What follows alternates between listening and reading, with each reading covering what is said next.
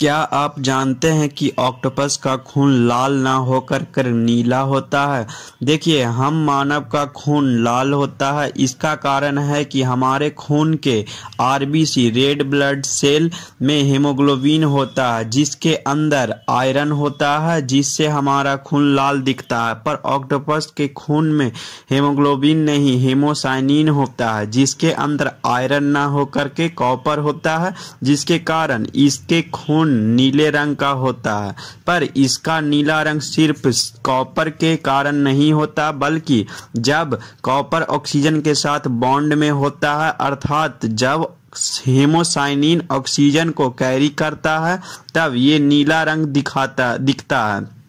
जैसे ही haemocyanin deoxygenated होता है मतलब ऑक्सीजन के साथ बॉन्ड टूट जाता है, तब ये कलरलेस हो जाता है, इसलिए मरे हुए ऑक्टोपस का खून में कोई रंग नहीं होता।